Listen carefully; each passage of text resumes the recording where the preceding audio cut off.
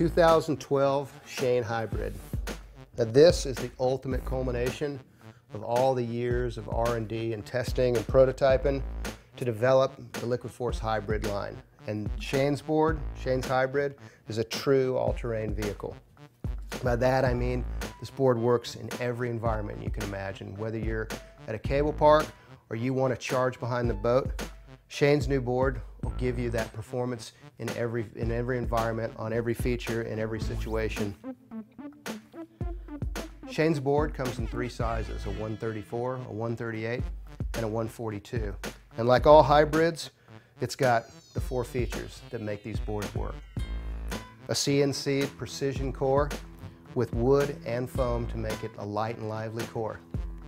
Now what you'll see on Shane's board is we this is our ultimate hybrid board and we want to we don't just want to talk about what this board is about, we want to show it to you. So the graphic, we've ripped the graphic away to show you the insides. You can see the stringers right here through the board. We've got a triple stringer arrangement, this longitudinal grain wood placed between lightweight foam. Now this is a different, lighter, compressive strength foam, but super lightweight. It's a PVC foam, making Shane's board the lightest hybrid core possible. You'll notice right through the top sheet, you can see the liquid rail sidewall. It's that super durable elastomeric sidewall that makes these boards strong, lets them take a hit and stay together. It's got triax glass layup that gives you torsional rigidity with longitudinal flex. And of course, we finish it out with an Unreal screen print, back printed on our durable grind base, liquid force grind base sintered material. And what makes Shane's board really special and what's driven one of the major innovations on all the liquid force boards is we've got M6 inserts.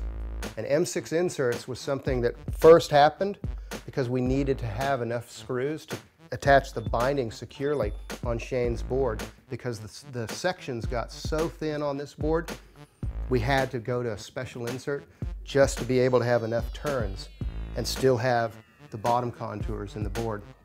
So we moved to an M6 in the prototyping phase of Shane's board, found out that this works so good and improved the board boot interface so much better than the previous way inserts were done that we decided to make this change across the board on every single board. So from our Stars and Nemesis Kids boards all the way up to the top of the line, the most expensive board we make, they all have M6 hardware because it's better.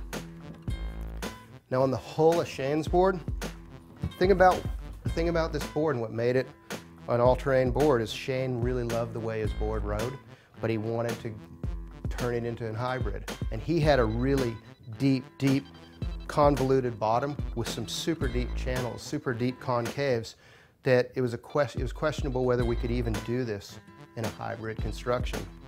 So that's what drove us to M6 because the sections had to get so thin with this deep double concave running into this triple concave with a super deep single through the middle that in order to make that happen, the sections got thin, the insert got shallower. We moved to M6 and came up with a board that has those features of Shane's Pro model, but in a hybrid shape with a proper rail profile. So whether you're charging into a wake or charging into a rail, this board's gonna work and work unreal. You've really got to try out Shane's board to appreciate it. Demo one of these, I'm telling you, you're going to be stoked. Shane Hybrid.